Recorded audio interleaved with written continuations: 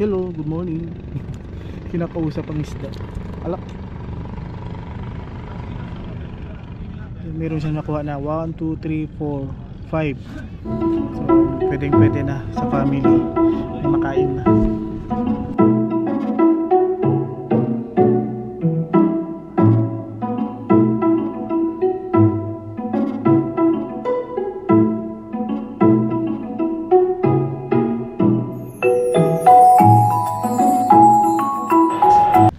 Walking muna tayo ulit ngayon.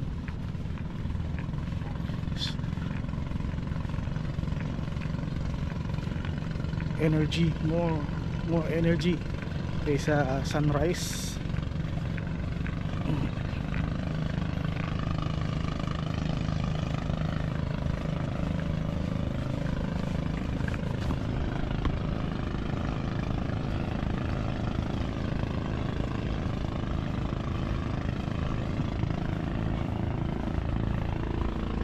Ganda ng view. Yeah. Uf. Pawisan tayo.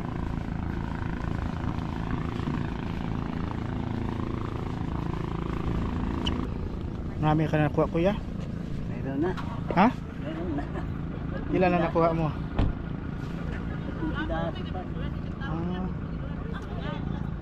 Doon oh, may nagmingwit doon oh, pang wala man. Wala man sila makuha. Sila mo. Ah. Pumasok pala yan sa dyan. Kita. Bakit nakapasok? Ah, nilagay mo lang doon sa loob? Hindi na pinula. Pwede na. At least marami pala dito isda no. Buhay na buhay pa oh. Okay, so ang ganda talaga dito sa Paseo del Mar. Eh marami din mga nagja-jogging dito and nag-fishing. At si Kuya marami siya nakuha. Meron na siyang tatlong nakuha na isda. Tingnan natin Kuya. Yan, buhay na buhay. Fresh na fresh oh. Yan guys, ang dami nakuha ni Kuya. Tatlo pwede na pang tinola. Dagdagan mo pa yan Kuya.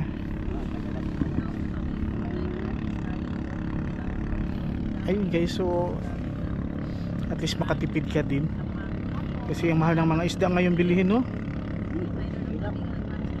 Dati ano. Buwan. Oo. Lalo na pag may mga typhoon. Nagtaasan yung mga isda.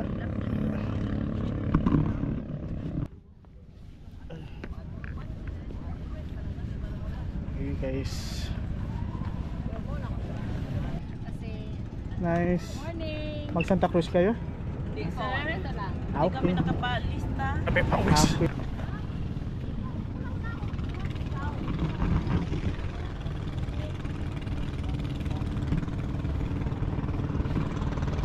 Yun, pawis na pawis.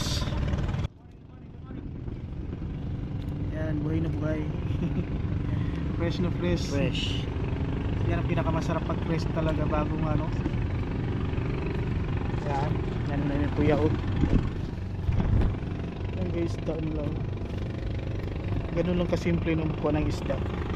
Oh, buhay na buhay. Hello, good morning. Kinakausap ang isda. Alak. Meron siyang nakuha na 1, 2, 3, 4, 5. So, pwedeng pwede na sa family. May makain na. So yun guys, so itong lugar na to medyo nag-crack na talaga siya. Medyo delikado na to.